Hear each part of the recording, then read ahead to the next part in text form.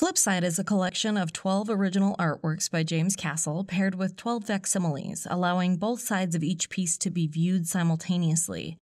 This complete view of each work allows us insight into the inventive tools and techniques Castle was so adept with, the daily living habits of the family that cared for him throughout his life, and the changes in material culture seen over the course of decades. This piece is one of Castle's drawings that feature a grid structure, which was likely influenced by his love of calendars. Castle was known to collect calendars and recreated this layout many times, filling the boxes with patterns or images rather than numbers. The imagery in this grid is challenging to recognize because its orientation is perpendicular to the rest of the piece. By reimagining the orientation, you can discern two panels from a comic style scene with figures speaking to each other in voice bubbles.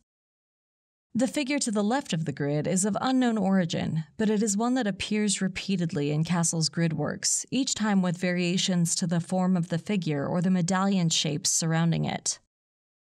The back of this work reveals a doctor's bill from 1956 for Castle's brother in law, Guy Wade. Guy married Castle's younger sister, Peggy, in 1928 and was a large part of Castle's daily life. Guy and Peggy moved into the Eugene Street house with James and his mother Mary, and they took over care of the property after Mary passed away in 1948. Castle continued to live with Peggy, Guy, and their four children throughout the rest of his life. The Eastman building, where the doctor's office was located, was in downtown Boise at the corner of 8th and Main Street. This iconic structure was built in 1905 and housed doctors' and dentists' offices throughout much of its history. The building burned down in 1987, and the lot was later filled by the Zions Bank building.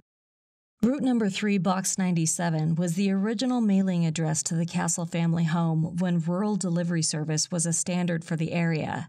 The street name Castle Drive started to be used in the 1940s and was used interchangeably with route number 3 until the late 1950s, when the name change became permanent.